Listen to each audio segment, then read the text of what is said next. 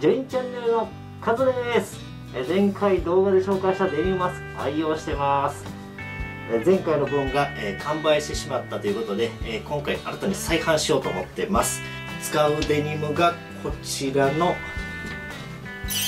リーバイス501作っちゃったのでボロボロになっちゃってるんですけどこちらを使って、えデニムマスクの方を作成してみました、えその工程を、え動画で撮影しますんでもしよかったらこの後作業工程など見てもらえたらなと思ってます。いいなと思ったら概要欄にネットショップの URL 貼ってますんでぜひそちらの方でご購入お願いします。では作業工程の方行ってみましょう。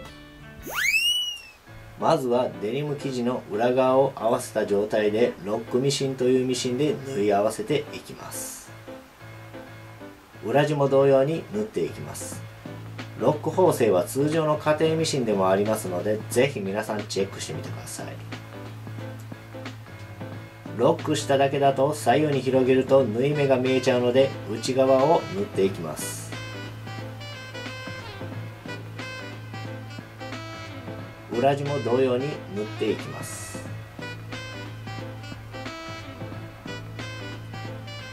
デニム生地をひっくり返して表の状態にしてきれいに丸みが出るようにアイロンがけしていきます。こういう作業が結構大事です。次は裏地の上部を三つ折りにしてきれいに整えていきます。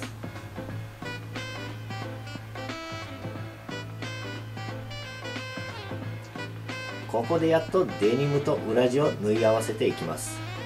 これもロックミシンを使います。縫い合わせたものをひっくり返して顎のあたりに来る下側を縫いやすいようにアイロンがけしていきます。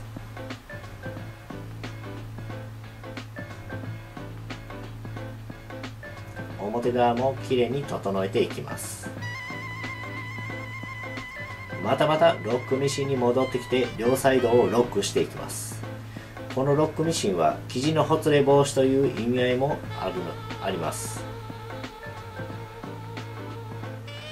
これが US ヴィンテージミシンのユニオンスペシャル。チェーンステッチでデニムマスクにアクセントをつけます。まずは顎部分の下側を。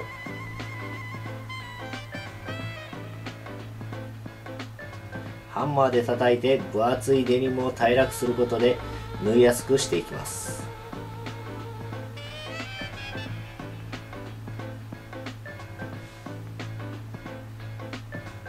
真ん中部分はさらに分厚くなるので角をカットしさらにマスクが顔にヒットするようにノーズワイヤーを入れ込んで縫っていきます。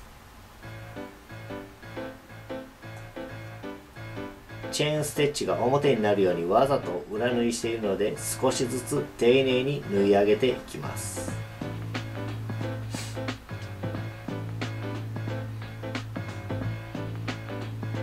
チェーンステッチの出来上がりはこんな感じです。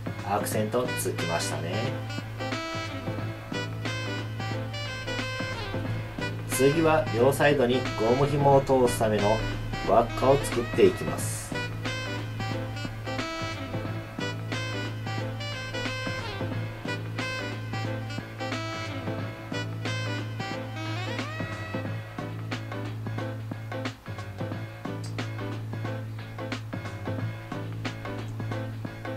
裏地表地ともにきれいにするためにアイロンがけしていきます。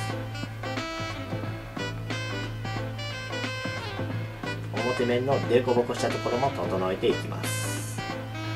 最後にゴム紐を通して完成です。裏地はポケットタイプになっているのでガーゼやティッシュなどを挟むとよりフィルター感が増します。完成です。手作りもできますがめんどくさいという方は概要欄にネットショップの URL を貼っていますのでそちらでお買い求めください。